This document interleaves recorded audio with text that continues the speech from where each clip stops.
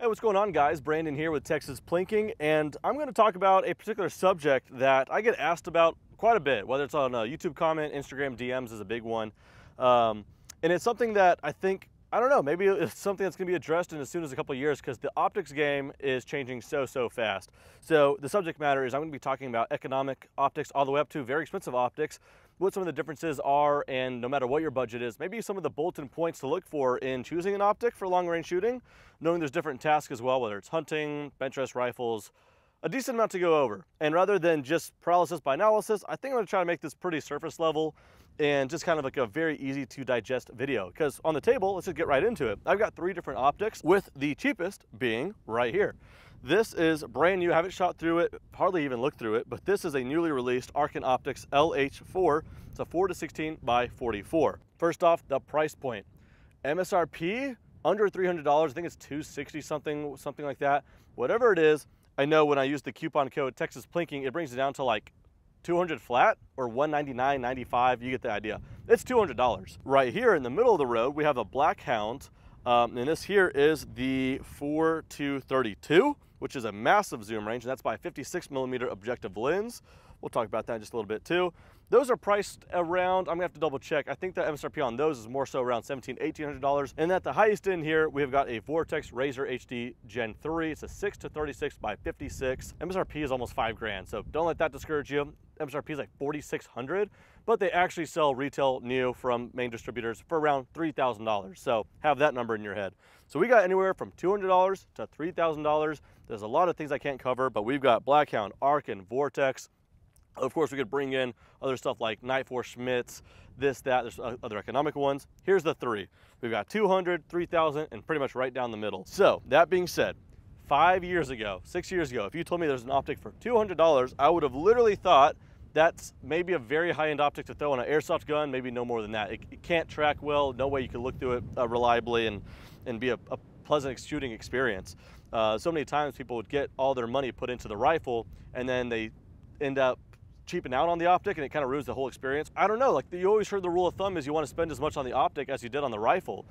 And I don't disagree with that to this day, but that doesn't mean there's exceptions out there that you don't really need to. Sometimes the optic can be more than the rifle, sometimes it can actually be quite a bit less. The reason I even have the economic $200 Arken on this rifle, in case you guys don't recognize it, this is the Altera Arms Mountain Shadow Carbon Elites, 6.5 PRC. And last time you guys saw it, it had a Nightforce on it. Uh, Altera sent me the rifle, uh, but they had a Nightforce. That was Altera's own Nightforce, so I sent it back to them. And I'm actually gonna be putting on a Vortex Razor LHT on this at some point when it comes in. But in the meantime, I thought how funny would it be, or funny, or just to prove a point, I guess, to put a $200 optic on a $6,300 rifle. So the MSRP on this is $265.99. Uh, coupon code Texas Plinking makes it $199.49. Uh, and that code works with everything, not just this optic. You can see 25% off, by the way. Okay, so let's talk about some specs on this particular one. 4 to 16 zoom range, 4 to 16 times zoom, by 44. The 44 is the size of the objective lens. Hunting optics will usually have a smaller bell on there as well. The objective lens allows some more light to transfer in, makes for a better viewing experience under dimmer light situations.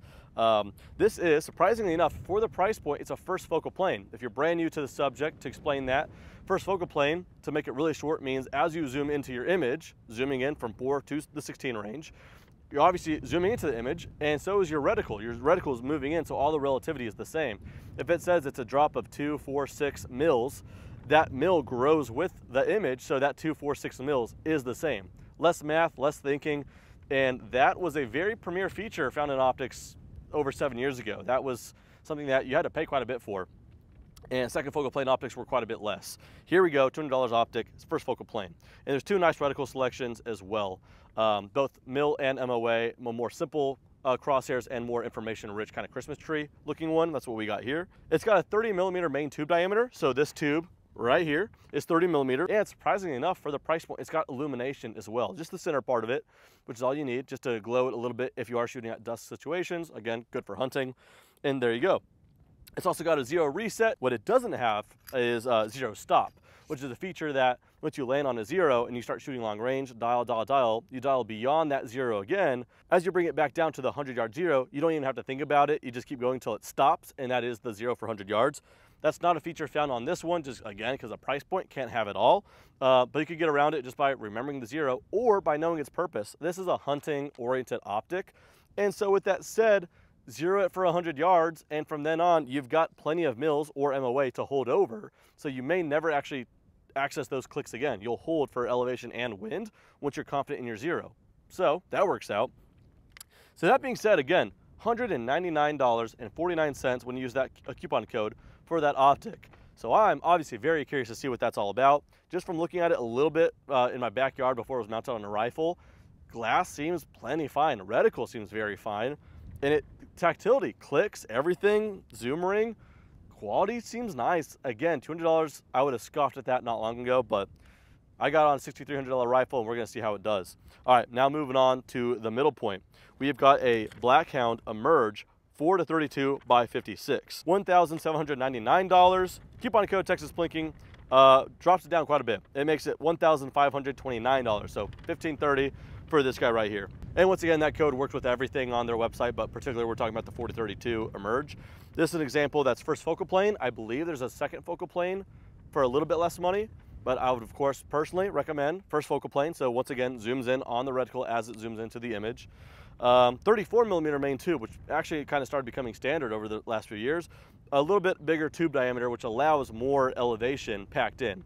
Um, so just more adjustment before you start having to rely on your holdover can bring you out to some decent distance, obviously depending on the caliber you're shooting, without getting too far into it. 34 millimeter main tube, and it's also got illumination. It's got a zero stop and a zero reset, obviously. And the finale right here, we're talking about the Vortex Razor HD line. $4,799 is the MSRP but they never sell for MSRP. Um, retail really is more so around the $3,000 range. I think the cheapest you could find them new is $2,700 if you have a membership to a Sportsman Guide. I think that's the cheapest way to get it. Otherwise, they're like $3,000 on Amazon. So pick your poison on how you want to secure one. Um, there you go. Uh, actually, maybe 2,760 on Amazon now that I'm looking at my notes. So there you go, under three grand. First focal plane to be expected, illuminated reticle, very, very cool reticle as well in my opinion, a lot of information, 34 millimeter main tube, zero stop, zero reset, of course. Now every rifle scope's gonna be a little different in how you set the zero stop. They made it stupid easy on this one. There's only one screw. You can zero it within the zero. I won't overcomplicate it. I really like this. There's a couple other little gimmicky, not gimmicky, kind of neat, geeky features. As you rotate through your revolutions past your zero, this little thing starts sticking out to the left side with these little hashes so you know if you're on the first, second, or third revolution of your turret. Really cool stuff going on with this optic. Of course, you have to pay for it. Everything's perspective. That seems expensive, and it is. I'm not gonna say that's a little bit of money, but easily you could double that, and there's a scope out there that sells for $6,000. There's a lot of people out there, not making fun of y'all, maybe we've all been there to some extent, but there's a lot of people buying these very gimmicky optics on Amazon. They got blue illumination, green illumination, red illumination, this, that, and they're like 80 bucks and they got a laser on top. That's not something you want to be throwing on a real rifle in my opinion. We'll just be nice and say it that way. But yeah, there's there's gimmicky stuff, and then in my opinion, the bottom of where it starts is around that 200-ish dollar range. Maybe again, I'll be surprised that things could come down even less than that. But I'm not even saying Arken Optics is the end all be all. I have limited experience with primary arms that I've only ever heard good things, so check those out if you want to as well. There's finally the point now to where things don't have to break the bank to have the experience that I've always wanted people to have.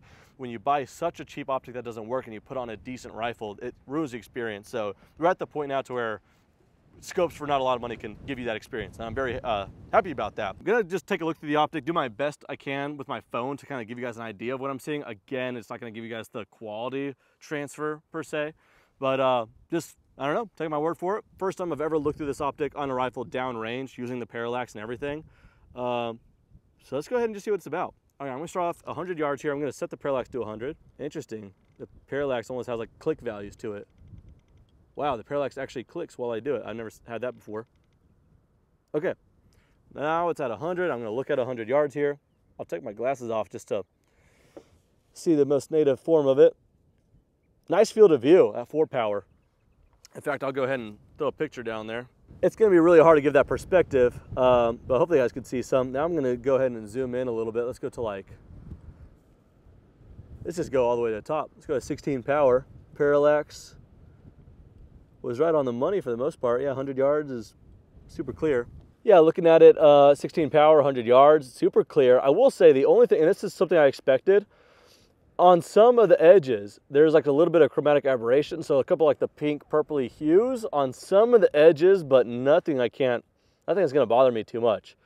Man, I'm looking through a $200 scope, first focal plane. Really nice reticle, not much to complain about. The only thing is, of course, if it doesn't work under the recoil of a 6.5 PRC, but we're about to find out soon let's keep going. Let's go over to uh, 526 yards. All right, well, nothing a scope can do about Mirage. So there's Mirage moving out there, but um, I can play some shots pretty confidently, I feel, at 526. This is looking really nice. Glass is not looking like an economic scope. So looking at my video footage on my phone, it's definitely being lost in translation. Um, so you got to take my word for it. That that looks really nice. 526 yards. Let's go. Let's just jump right to 950 yards. Why not?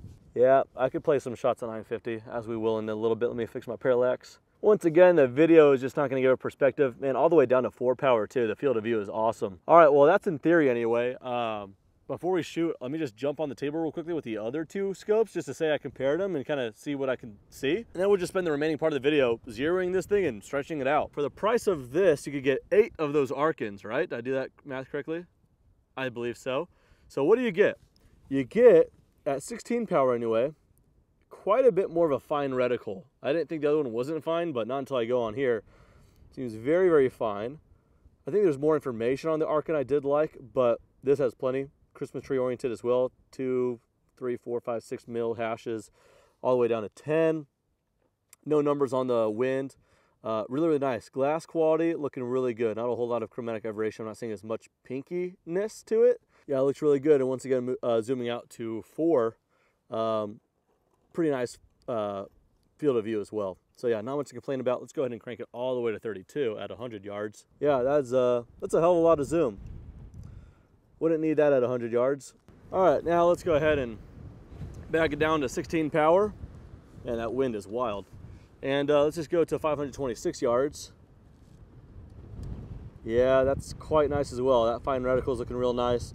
And then crank it to 32. Now I have to fix my parallax a little bit. Now it's on the money. What I'm struggling with with my phone is it's just gonna drop that exposure quite a bit and focusing is a nightmare, but 32 power, 526 yards. Mm, I don't need that much zoom. It starts to close out a little bit, but I could certainly use it. Honestly, 24 power is plenty enough. I don't even need that much, honestly. But yeah, 526 looks pretty good. Once again, let's jump to 950 yards. Yeah, no, very, very, yeah, on the right gun, this right here would be pretty easy to place shots. It's not the optics, it's gonna be a limiting factor. Yeah, looks really, really nice. It's actually a usable 32, I will say. Sometimes there's like just gimmicky types of zooms, um, but no, this has got the glass quality to back it up. You could use 32 power here. All right, and lastly, the good old Vortex Razor HD Gen 3. Funny enough, what I noticed is that six power with the length of this barrel and the suppressor. Suppressor is kind of in the frame at the bottom there. All right, we're gonna go ahead and crank it up a little bit to about 16 power here. And that's just a different kind of perspective. This is, um, yeah, really nice glass quality. What can I say? Not really seeing any chromatic aberration. Wouldn't expect so at this price point with this Japanese glass. Yeah, that just looks pretty freaking good. Not much to say about that. Really nice, very fine, fine information rich reticle yeah, I mean, not much else to say. It's uh, it's really good. Totally unnecessary to zoom more than that at 100 yards. Go to 526 here, and let's just start cranking. I guess we've got 30 power right here. Just because it's available to us, let's go to 36. Adjust the parallax. That is a very usable 36 as well, man. That's a lot of zoom to be able to use that well. It's a, some great glass quality then. And again, I just looked at it through my phone and it's just not gonna give you guys the perspective of clarity I see because it's just getting lost in my phone, you know, but trying my best here. Let's go ahead and move on over to, um, to 950 yards. Crank it all the way to 36 again. Let's just not waste any time. Oh yeah. And that gives me the best definition I've seen so far on all the rocks down there, the uh, five inch targets, everything. That looks quite nice, as we would expect. At this point, with this kind of zoom range, which again, I don't want you guys to think 36 zoom is what you need on your platform at all, but at this point, it's almost like a spotting scope on your gun. With anything, this is an important thing to note before we start shooting under the $200 scope here. An important thing to note is this isn't just long range scopes, but anything in the gun world or anything in any world is something called diminishing returns. Um, as quality goes up, price point can too. But just because something is more expensive, it could very well mean it's better, but not by the margin of its price increase as well. You can spend twice as much on an optic, but it doesn't mean it's twice as usable, twice as good, but it might be better, just not twice as good. Same way, I mean, just because I can't do math on the fly, let's just go ahead and say this is $3,000 divided by the $200. Yeah, you get 15 of those Arken scopes for one of these. That Does that mean this is 15 times more usable? Will it be 15 times more accurate? No. Diminishing returns, but doesn't mean it's not better, because it is. So it's up to you to decide your price point, and uh, I'm sure there's something that fits in line with what you're trying to do from there. That's the rundown. That's probably as geeky as I want to get with a comparison. Hope you guys can see enough footage from my phone and take my word for what the quality I'm kind of seeing here. But let's go ahead and just run a $6,300 rifle with the $200 optic, zero it, because I haven't shot through it yet, and just see how we could do on this very windy day. Go to 950 yards with that very deal. So uh, let's go ahead and just do that. All right, finally, after all that talking, let's go ahead and get rounds down range with this Arken. All right, on steel now. All right, that looks like it's bang on the money. I guess that's good enough to go to paper. That looks real good. Not bad. I'll dial it one to the left. That's that's a good zero to me. Cool. All right, so what's cool about this, dead simple to zero. Again, every scope's gonna be a little different. So I already got the caps removed. So right now I'm on four elevation and I'm on some random number for wind.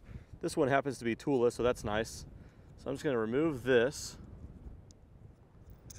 lift this, reference that to zero, and it does not get much easier than that.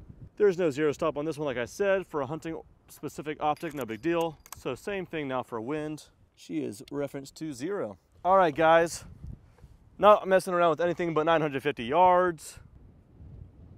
Three Damn. left. Yeah, no kidding. Oh, just left. All right. I feel like I gotta act quick because that wind's so indecisive. Impact. Oh man, you gotta act quick with these conditions, otherwise, uh, the yeah, things are gonna move quick with this wind here. Ah, I was holding about there too, so that wind's just decided to shift a little bit.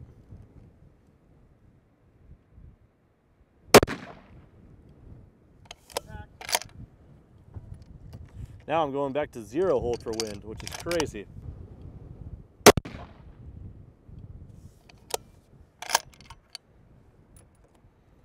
I'll put these last two in the internal mag here.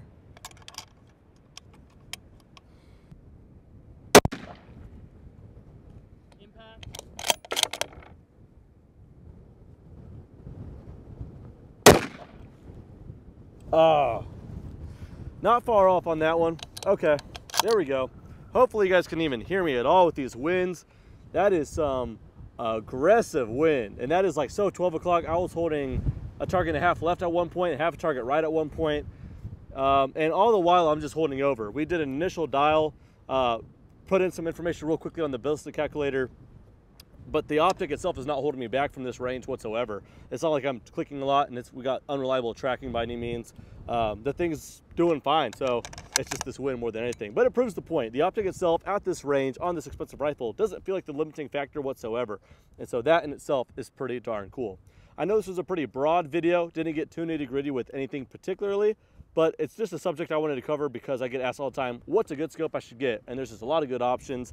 And putting on a $200 optic on a $6,300 rifle kind of shows the extreme spread on that. Not that I recommend it, but it works. And so there's a lot of things that work. So gotta decide what's right for you. Hopefully this video gave you a little bit of that clarity. So thanks for watching. See you guys next time.